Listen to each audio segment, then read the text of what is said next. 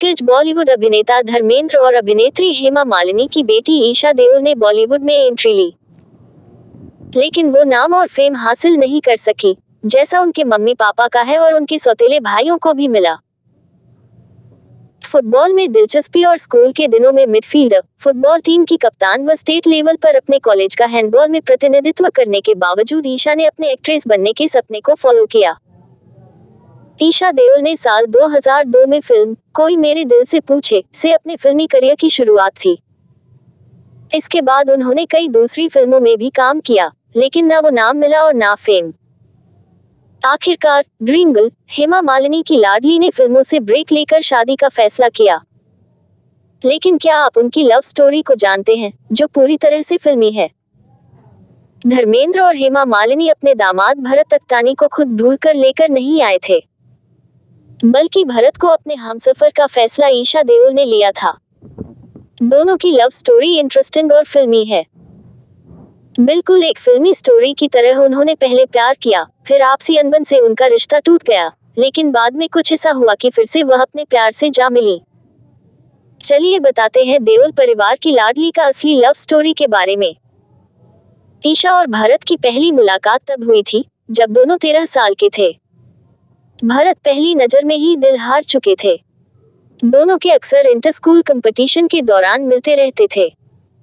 ईशा, जमुनाबाई नर्सी school में पढ़ती थी और भारत बांद्रा के लनज अकादमी स्कूल में। एक इंटरव्यू में भारत से जब पूछा गया था कि, ईशा, में ऐसा क्या खास था कि आप उनके प्यार में पड़ गए थे? तब भारत ने कहा था, ईशा हमेशा फ्रेश नज़र आती थी और उनमें बहुत ही क्यूटनेस दिखती थी। खास बात ये थी कि हम दोनों ही एक दूसरे को पसंद करते थे। उन्होंने बताया कि सब कुछ सही तरीके से चल रहा था, लेकिन एक दिन मैंने ईशा का प्यार से हाथ पकड़ने की कोशिश कर डाली। फिर क्या था, ईशा को भरत की ये हरकत नागवार, गुजरी और वह उनसे नाराज़ हो गई। ईशा ने भरत को एक थप्पड़ भी लगा दिया और कहा था, तुम्हारी हिम्मत कैसे हुई मेरा हाथ पकड़ने की? इस घटना के बाद दोनों के रिश्ते में दरार आ गई। ईशा नाराज़ हो गई और भरत से बात करना बंद कर दी।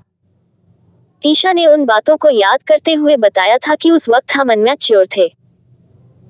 हालाँकि, इस घटना के बाद दोनों के बीच कई सालों तक बात नहीं हुई, लेकिन इसके बावजूद ईशा के लिए भरत का प्यार कभी भी कम नहीं हुआ।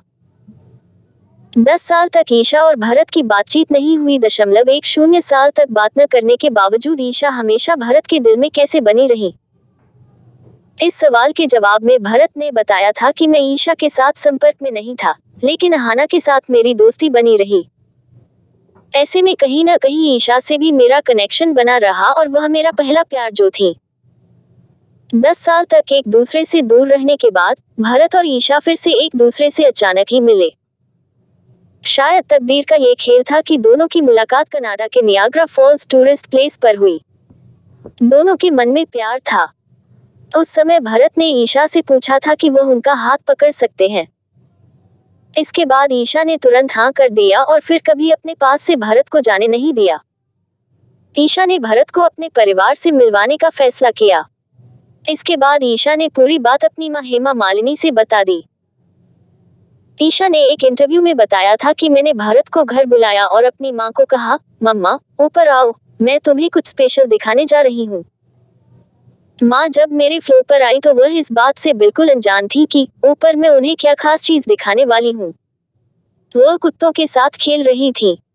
माँ, जब ऊपर आई तो वह भरत को देखती रही। भरत से मिलते ही माँ ने उन्हें पसंद कर लिया। भरत को मम्मी से मिलाने के बाद अगली बारी पापा धर्मेंद्र की थी। ईशा ने धर्मेंद्र से जब भरत को मिलाया तो दोनों करीब एक घंटे तक अकेले ही बात करते रहे। दरअसल धर्मेंद्र, भरत से बात कर इस बात की तसल्ली कर रहे थे कि क्या वो उनकी बेटी के लिए ठीक है भी या नहीं। धर्मेंद्र को भरत पसंद आए और वो देवल परिवार के दामाद बन गए।